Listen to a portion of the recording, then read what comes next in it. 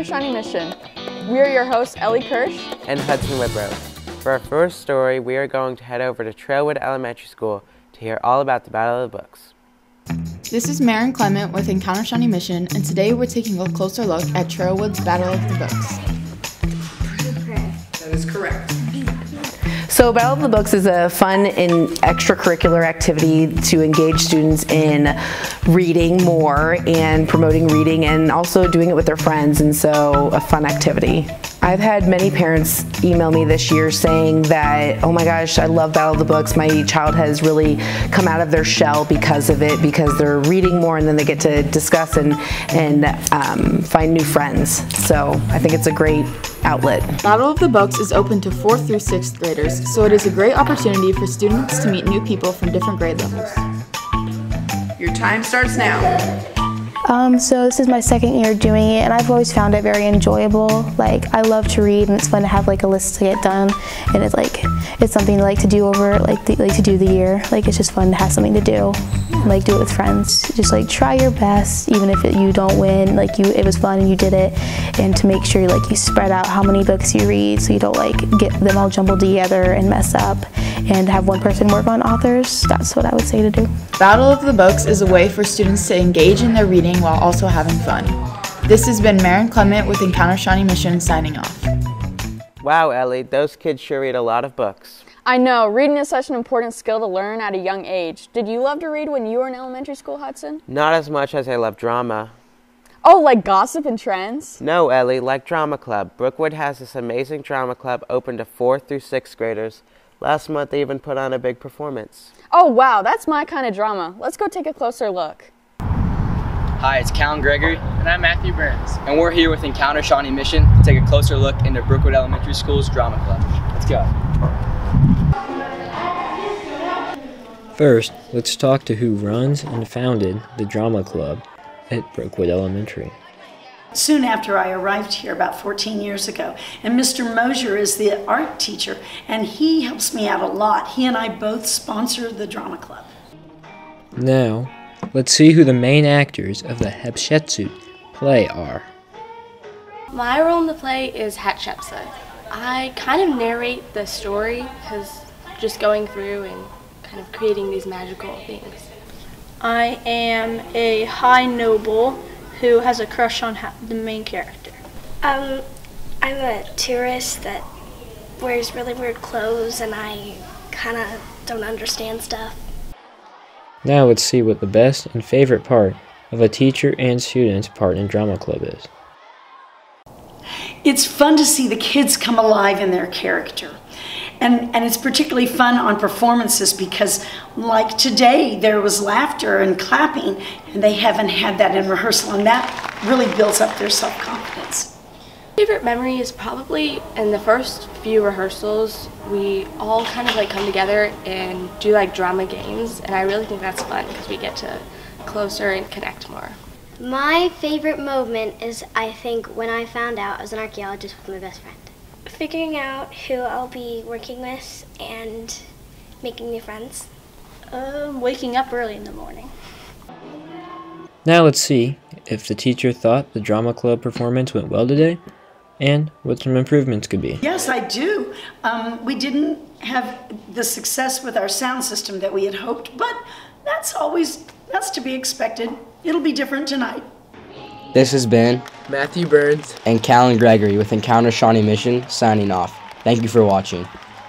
Those actors are so talented. I wish I had some talent.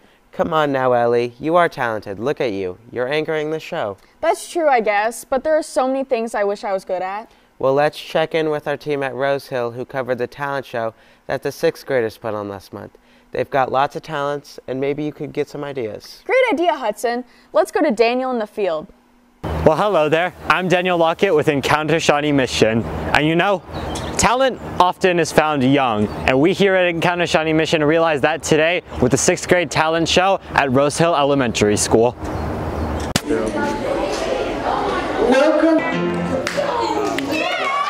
Got together with the specials teachers to kind of create an opportunity for the kids to showcase their talents. And so this week, all this week, we've been, instead of going to your regular specials class, we've been getting the kids together to put on a talent show. During the show, the students got to perform a wide range of talents from musical to comedic Why are piggy banks so wise?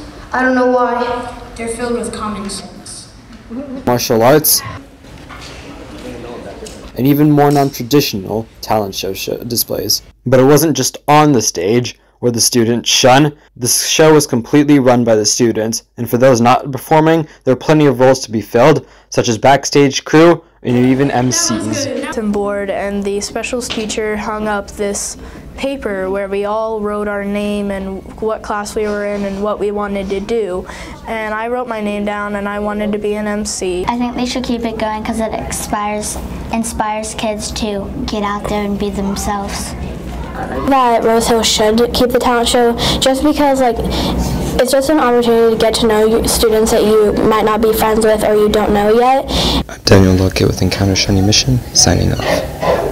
Man, there are so many cool things going on in our elementary schools. Don't worry, Hudson. There are also a lot of cool things going on in our middle school as well. Really? Yeah, Indian Woods Middle School recently put on a production of Newsies Junior for their annual musical.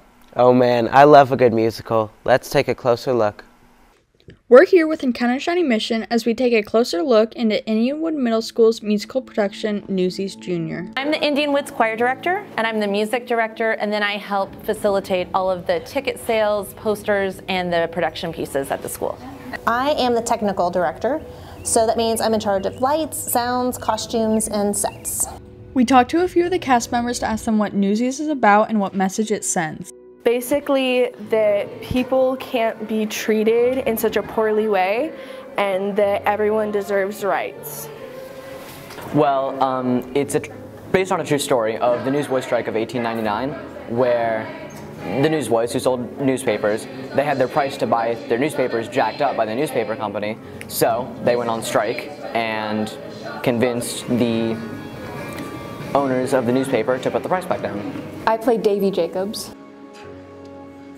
Um, he is one of the new newsies. Um, he's very uptight and a schoolboy who does not want to be there. Um, but he ends up making a bunch of friends along the way of his newsy journey. I play Crutchy. Crutchy, well, um, he's a newsie, obviously, and he has a gimp leg. You know, he got polio, and so one of his legs doesn't work. So he carries around a crutch, but that doesn't make him, you know, any weaker than the rest of the newsies. If anything, I would say that he's one of the, the strongest ones out there, and he's he's a leader in in the newsies, and you know, he's he's respected by a lot of them. Um, I'm costume crew, so that basically means that we um, organize and we help design some of the costumes. So uh, I work in, we all section off and do different parts of the play. I'm Catherine Plummer. Catherine is a like young reporter that she just started writing, and her father is the really mean guy. I'm backstage crew. For that, we just move sets so we can get the uh, the scene in order. We then asked the cast and crew why they chose to join theater and their favorite parts of it. Well, when I was in elementary school, in like maybe the third or fourth grade, my music teacher put on Newsies for us, and it really just inspired me to do theater. And so specifically doing this show is just a dream come true. Um, well, it's fun. It's just a good time, and you get to see a hundred some kids do something that they really want to do, and um, really just try their best and like execute a great performance year after year. Probably the, just the community that I get to be around. Um, with everyone in it, it's everyone's always so supportive and really nice. So it's always I'm really excited to go to rehearsal every day. Ball's a bunch, a bunch of my friends, and I love being on stage and just being able to express myself in a whole different way. My favorite part is watching the kids grow through the process and watching them feel so excited once they've reached that success level. Like uh, they have put so much work in uh, during this process, and I just love to see them when they start to get excited and they start to think, yes, we were like really good today. Um, I think that's my favorite part as they start to discover that success. This is Ellie Kirsch, Hudson Whitbroad, and Maddie Lilich signing off with Encounter Shawnee Mission. It's so nice to see kids expressing themselves on stage, don't you think, Hudson? Oh, yeah, I think it's really amazing, but I'd never be able to do that. Why not? Well, I have a pretty bad stage fright, and I like after school clubs and activities that are a little less social and a little more intellectual. I know just a school club that would be the perfect fit for you. Well, if you were still in elementary school, that is. Really, Ellie? Yeah, at Oak Park Carpenter, they have a chess club. We should go to Levi in the field to hear more about it. That sounds so good. Let's go. This is Levi Harrison with Encounter Shawnee Mission. Today, we will be looking at the sixth grade chess club at Oak Park Carpenter Elementary School. You know, like everyone in our class was playing chess, but we kind of got in trouble for playing chess because we'd be playing it, you know, like while the class. teacher was talking. uh, it's really uses your brain activity. You get to learn a lot, and there's a bunch of different strategies you can do. Uh, the first day at chess club was all of us just kind of learning how to get into the moves and all the rules. And now all of us are kind of competitive with it. It's kind of a social game if you want it to be. Like some games where you really have to think you're going to be kind of quiet. If like you're just playing to play and you're not trying to be super serious about it, it's a good social experience. I had always wanted to do something outside of school with with some of my friends, and chess club was the perfect opportunity because a I love chess and b it's with all my friends. Social part. I really like talking to people. Uh, yeah, kind of the same thing. Uh, me and Shelby are both kind of like social. It's kind of nice having a time where you know you can see and talk to some of your friends who you know like I mean you could see out of school but don't normally. With the help of Luke Nesky and Caden McCracken, this has been Levi Harrison reporting for Encounter Shawnee Mission. Who knew the chess club could be so fun? It's great to see kids challenging themselves like that. Absolutely. Man, you know what? Watching all these kids do amazing things is making me hungry, Hudson. Maybe you should get a snack at the Broadmoor Bistro. Did you know that a South student named Lucy Hutton works there? Is that the girl that who won state in culinary arts?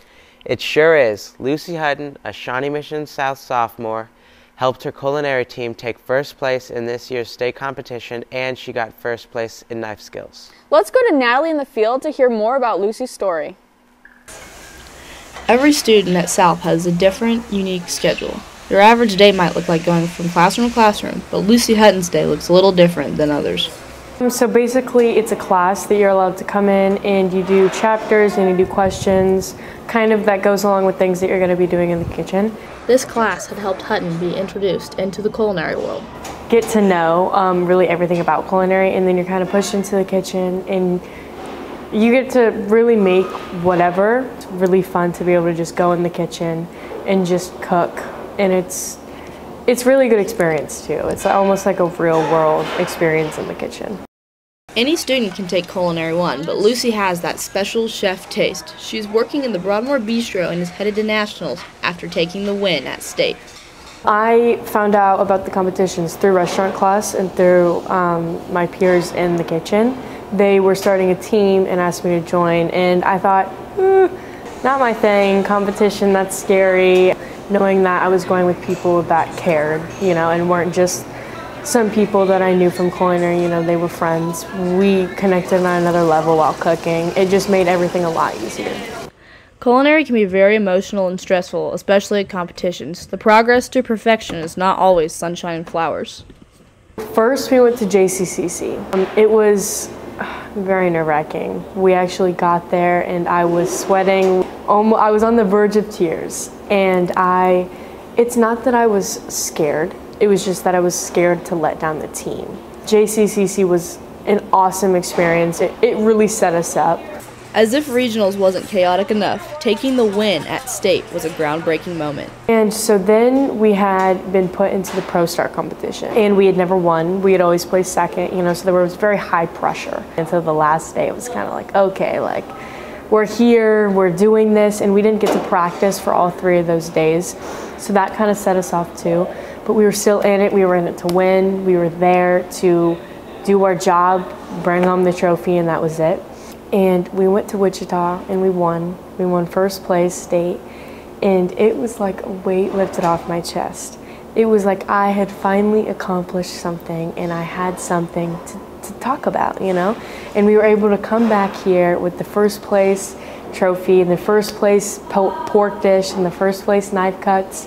Uh, it was an amazing feeling, truly. It was one of the greatest things I had accomplished. That day was the best day of my life. This is Natalie Homan with Encounter Shawnee Mission signing off.